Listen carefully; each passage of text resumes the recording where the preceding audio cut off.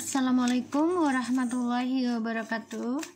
Hai guys, kembali lagi di channel aku Lucky Tarot MS Hari ini kita bacakan untuk bahagiakah dia dengan pilihannya. Kita langsung baca doa menurut kepercayaan masing-masing Agar apa yang kita inginkan Nunggu azan dulu ya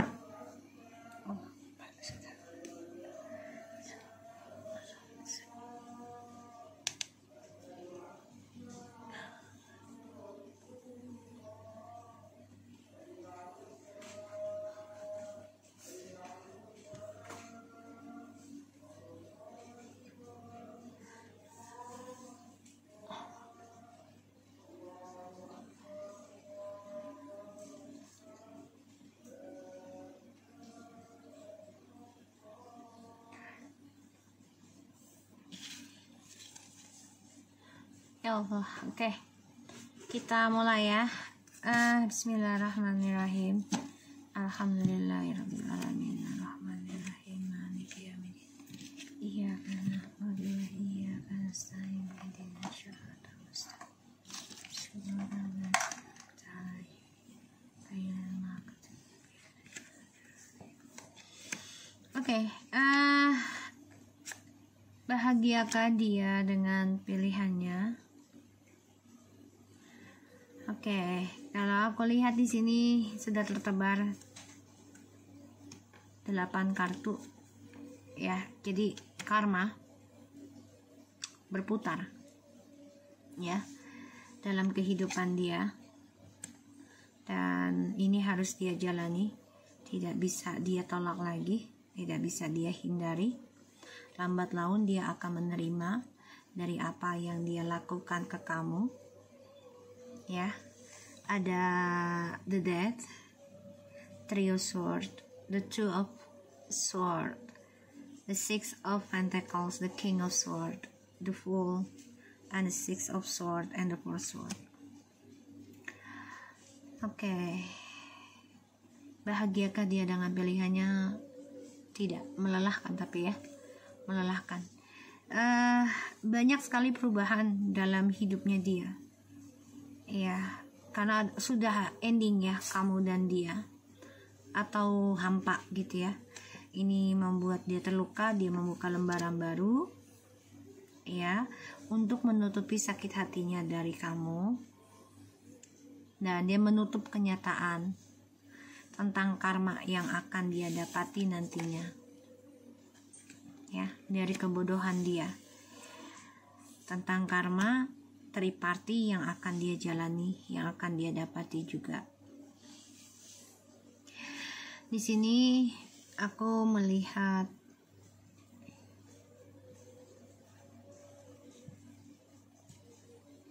dia coba untuk bersikap dingin ya.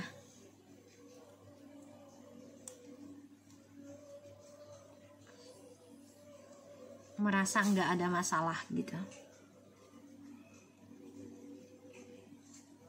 Ya dengan cara no communication sama kamu. Dan ya jadi kalau aku lihat memang dia kan merasa bebas nih setelah ending sama kamu. The fool tapi dia ngambil resiko. Dalam perjalanannya yang penting dia bebas dulu dari kamu. Tanpa dia sadari perjalanan hidupnya dia menuju kesuksesan ini keblok ya dan ternyata hubungan dia dengan orang yang dia jalani sekarang ini melelahkan. Capek.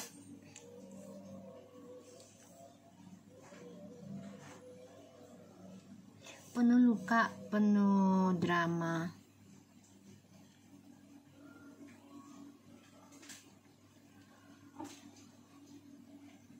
Memulai sesuatunya tanpa dia pikirkan resikonya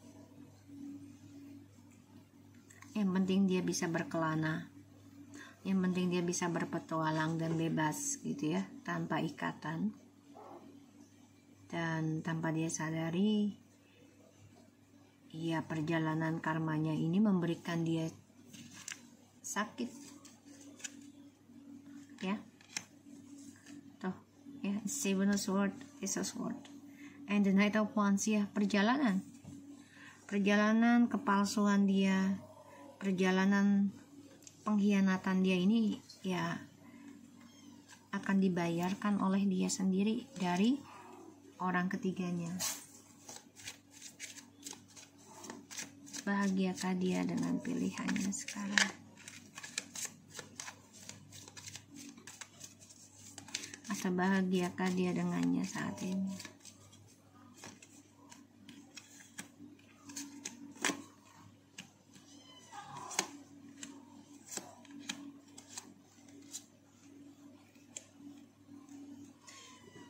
Ada the king of wands two of cups nine of cups and the hangman.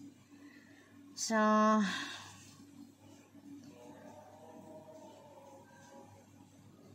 dia terperangkap ya dalam rencana dia sendiri. Mau kembali ke kamu juga udah percuma gitu loh. Karena ya kalian udah selesai sudah ending ya mau kembali ke kamu ke blok ke blok karena ya terperangkap dalam pemikiran dia sendiri egonya. Dan dia ada rasa takut juga sih tentang karma ya. Dari harapan yang dia inginkan gitu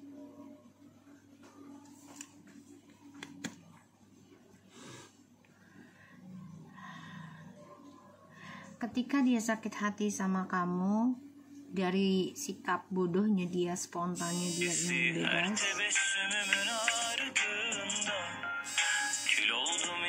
Ya kita lanjut ya. Bahagiakah dia dengannya saat ini? Uh, penuh kelelahan ya. Penuh kelelahan penuh uh, ketakutan. Karena dengan siapa pun dia menjalani percintaan ini selalu keblok ya. Karena terperangkap dalam dua sisi terus dua pilihan. Dan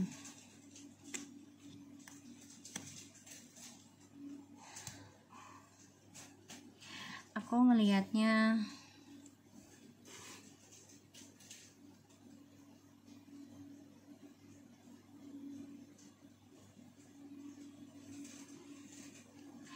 dia ini orangnya kan pemimpi ya. Dia tahu keinginannya dia itu sekarang sudah menggantung ya. Tapi dia coba untuk bersikap biasa aja. Padahal dia tuh merasa terluka juga sih. Ya tapi memang orangnya uh, egois banget ya. Merasa mampu merasa pintar merasa jagoan lah ibaratnya.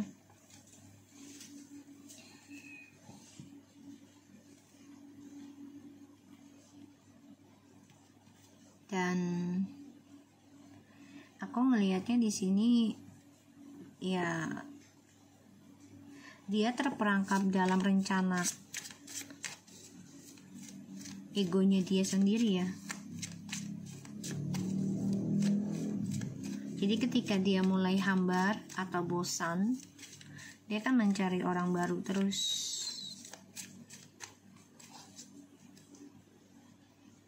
Ya. Berbagi cinta terus atau kestabilan hidup dengan orang lain sebagai pancingan dia.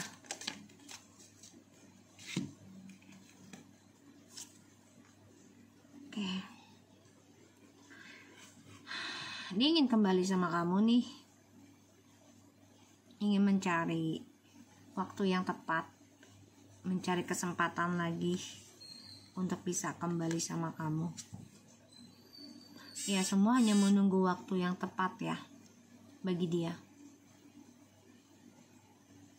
karena kalau kamu indikasi sama kamu lagi pasti ujungnya berantem ini membuat dia coba untuk mengimbangi emosionalnya perasaan dia ke kamu juga.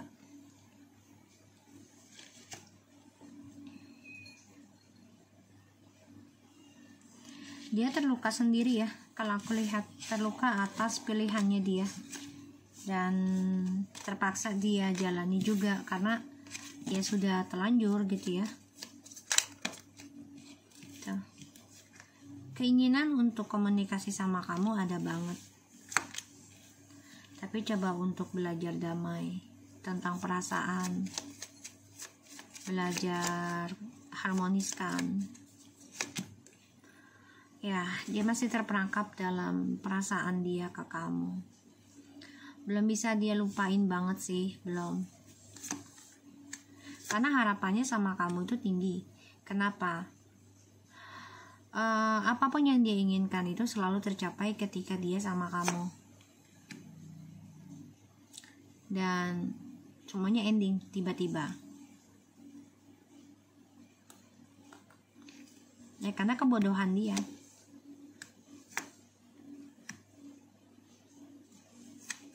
Dia mengendingkan komunikasi kamu malah memulai traumanya dia jadi kesedihannya dia sendiri. Berharap bisa mencari kesempatan lagi untuk ketemu kamu lagi. Itu rencana dia. Tapi menggantung ya rencananya tidak bisa dia lakukan. Karena kalaupun ketemu kamu pasti berantem dulu. Dan ini membuat dia keblok. Karena dia merasa ah gue capek drama. Padahal itu dari dia sendiri. Ya dia bilang melelahkan drama padahal itu dari sikap bodohnya dia spontannya dia masa bodohnya dia ya ketika dia meninggalkan kamu tanpa kejujuran. Dan dia ketika kembali nggak mau menyelesaikan dengan baik. Ya pada akhirnya kedamaian dia terusik sendiri. Kedamaiannya dia ya ending. Dan terbukalah pintu karma gitu ya. Tapi dia coba untuk mengendalikan sih ya dengan apa? Dengan bercinta dengan yang lain. Mencari pasangan terus menerus berbagi kestabilan tidur dengan siapa pun di sini. Bisa saja dia membayar orang ya membayar seseorang itu. Atau dengan percintaan terus diberikan bulanan mingguan gitu ya. Untuk sebagai penenang. Kalaupun kembali dengan kamu ya ujungnya akan banyak drama dan ini melelahkan buat kamu juga.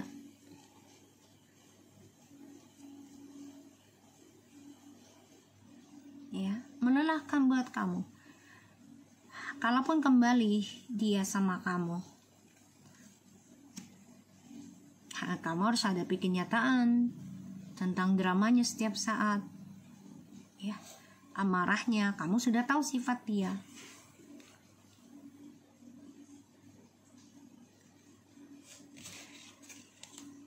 seven of cups. And two with the fortune nine of wands. The king of pentacles and six of cups ya. Dia sudah dihantui dibayangi bingung tentang karmanya dia yang harus dia bayar. Dia coba untuk bersembunyi sih kalau aku lihat. Bersembunyi dari kenyataan sebenarnya tentang karma. Ini bisa tujuh tahun tujuh turunan dalam pembelajaran hidup. Tapi dia nggak bisa bersembunyi lagi. Ini adalah karma tentang koneksinya dengan kamu. Ini jelas banget ya. Huh, dia menyimpan keinginan dia. Dia stalking kamu dengan akun rahasia. Ya dia coba untuk menghalangi atau membentengi dirinya dari karma buruknya dia. Tapi dia nggak bisa lari sih nggak bisa lari walaupun butuh waktu lama gitu ya. Uh, bisa bertahun-tahun ya. Satu saat nanti juga akan kena gitu.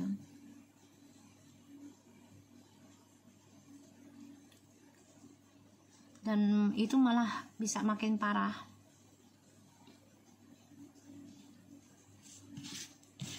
kita coba lihat ya. Bahagiakah dia dengan dengannya saat ini. Ala kulit enggak ya. Keinginan untuk kembali ke kamu tuh keblok. Karena dia nggak suka dengan kenyataan. Kalaupun dia tahu ya. Dia tahu nih kamu adalah seseorang yang selalu memberikan kebahagiaan. Bisa mewujudkan apa yang dia inginkan. Ya bisa mewujudkan apa yang dia kejar gitu ya ini keblok. Dia nggak nerima kenyataannya karena ya tentang progresnya perjalanan komunikasi dengan kamu. Terutama dalam spiritual komitmen dia kan orangnya takut komitmen ya. Takut banget tentang komitmen. Dan di sini aku lihat memang ketika dia diajak komitmen dan berdamai ya dalam ikatan cinta dia ingin endingkan. Kenapa? Ya karena dia inginnya percintanya itu bebas. Awalnya iya pengen komitmen tapi lama-lama dia nggak suka dikengkang karena jiwa kebebasan dia. Makanya dia mengambil resiko memulai dengan triparty. Karena dia dia merasa bisa mengendalikan semua tentang percintaan sesuai kemauan dia. Pada akhirnya dia terperangkap dalam sifat kebodohannya dia. Ya ada rasa lelah sebenarnya ada rasa takut. Ya tentang rencana dia. Dan dia juga bermimpi sih sebenarnya ingin kembali ke kamu sebenarnya. Tapi jiwa petualangannya masih ada belum bisa dia lepaskan. Ya jiwa petualangannya. Dan ini membuat dia ya orang yang takut dikengkang takut dihalangi takut dilarang gitu ya. Dia orangnya berani sih. Berani dalam mengambil resiko ketika dia menginginkan sesuatu walaupun itu menyakiti dirinya nantinya. Dia nggak peduli gitu. Egonya tinggi. Ujungnya sia-sia dia dengan orang yang dia jalani. Ya. Karena stuck dalam drama yang hal yang sama dan yang diributkan adalah trust issue mulu yang di masa lalu.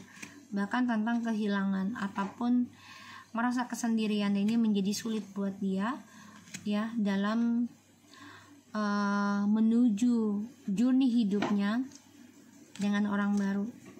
Ya kenapa? Ya, karena selalu banyak pilihan untuk pasangan atau masa depannya dia itu selalu diberikan beberapa pilihan. Itu yang menjadi kendala juga ya. Karena dia orangnya kan selalu mencari-cari. Oke? Okay?